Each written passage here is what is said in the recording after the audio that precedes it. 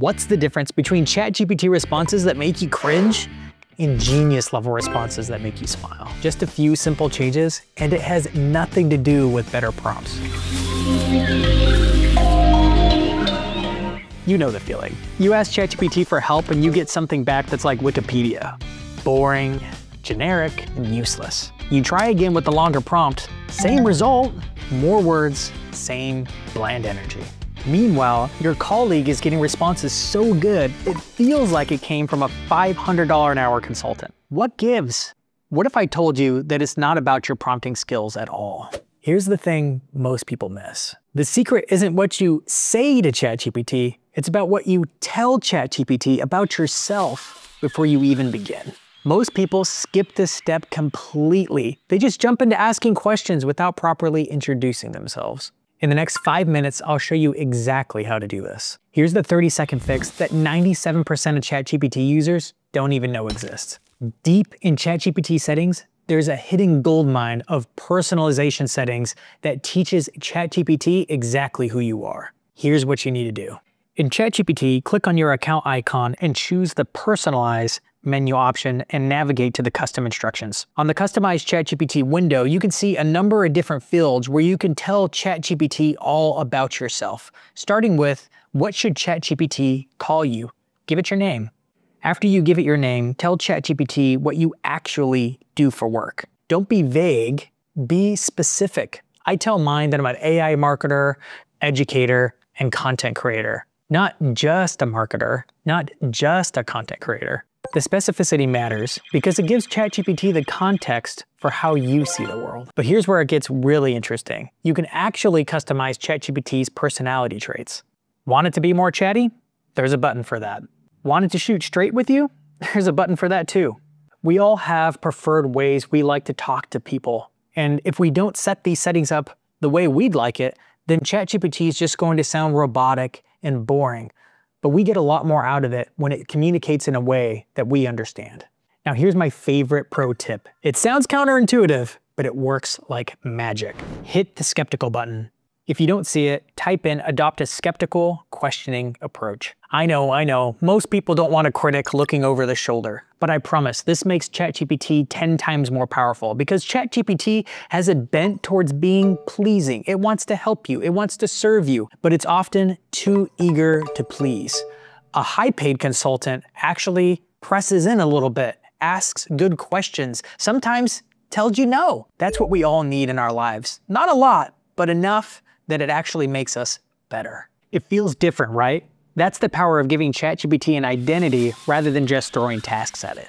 Now what I just showed you works great for simple tasks. But if you think about the bigger picture, like saving 10 hours a week by automating all your marketing tasks, that's where things get really interesting. That's exactly the kind of challenge that AI Business Society members are solving. They're not just getting better with ChatGPT, they're completely transforming how they approach content creation, client work, and business strategy through AI. You get access to monthly live trainings, monthly meetups, and some of the top experts on AI in the field. This isn't just theory. This is about practical techniques you can use in your business this week. There's nothing to lose. There's a 30-day money-back guarantee, so check out the link in the description. So this next technique builds directly on what we were just talking about. Every time ChatGPT annoys you, it's an opportunity to make it 10 times better. Here's where things get really powerful. There's a whole section in ChatGPT called, Is there anything else ChatGPT should know about you? that most people completely ignore.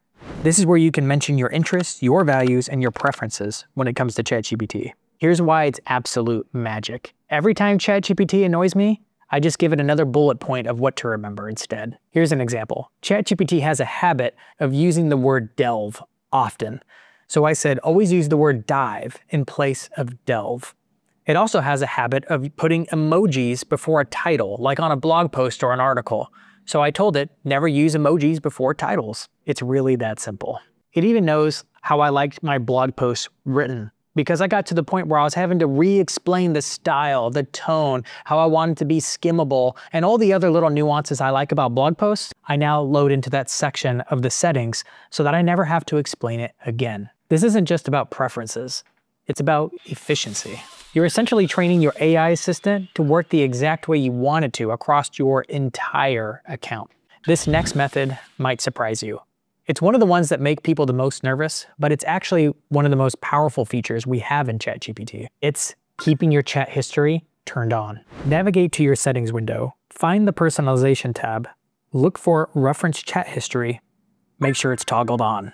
Yes, ChatGPT already knows what you've talked about before, but when you have it toggled on, that information is actually going to work for you. Instead of just sitting there unused, ChatGPT can actually put all that information to work for you by taking all your preferences, things you've communicated about, projects that you're working on, and remember it in future conversations. Think about it like this. Would you rather work with a consultant that knows the ins and outs of your business, or with a consultant that treats every conversation like you're meeting for the first time? The choice is obvious, and the magic happens on autopilot. Now this part's a little confusing. ChatGPT actually has a whole section dedicated to memory that's different from remembering all the previous conversations it's had with you, and you can use this to your advantage. You might have noticed that ChatGPT tries to remember things when you give it I statements. I prefer this, I'm trying to work on that, and it stores it in the little memory box in your ChatGPT account. But I wanna show you how you can use that memory feature like a pro you can actually proactively load ChatGPT's memory with the stuff that matters the most. I'm going to give you a prompt that is golden because it's going to kickstart a process that will have ChatGPT pull all the most valuable parts of you into its memory to be used for later conversations. What would be the most helpful things for you to remember about me? Not just short-term project stuff, but the big picture things that would help you serve me better across everything I do. It'll ask you questions about your strategic role and decision-making style, your core business goals or personal goals, your brand or personal values, your work style, and list of non-negotiables. Now, there's a limit to how many memories you can load into ChatGPT, so I often go back into the settings and manage the memory because sometimes it has something golden that it needs to know about you, but sometimes it accidentally grabs something that it doesn't need to know. Like that one embarrassing thing you were asking for advice for last week. It doesn't need to remember that. Here's a bonus tip. If you're ever showing off ChatGPT to friends or having a conversation that you don't want it to remember, use the temporary chat feature. There's a little dotted line icon in the upper right hand corner of the chat screen that you can activate in order to have a conversation with ChatGPT that you don't want it to remember. In this next tip, you'll need a paid version of ChatGPT in order to create custom instructions that can be applied to more than just your account, but be separated out for individual clients, even areas of your life. And it's called ChatGPT Projects. On the left side of ChatGPT, there is an icon called New Project. If you click it, you can give it a name, like I'll give this one Social Media Marketing World, click Create Project, and then you can add custom instructions so that ChatGPT can understand what you're trying to accomplish in this project. You can use ChatGPT projects to organize all kinds of things, whether they're separate clients that need separate writing styles, or different areas of your life where you have different goals that ChatGPT needs to understand the context to. When you have it separated into different projects, you can actually customize the way ChatGPT responds responds in different areas or different clients or different projects that you're working on. It's like having multiple specialized assistants helping you accomplish your work. Once you have ChatGPT set up to know you, the real magic happens when you start feeding it actual data. In this next video, I'll show you exactly how to upload your data to ChatGPT to get insights that would otherwise take you forever to figure out. Click or tap this video to watch it now.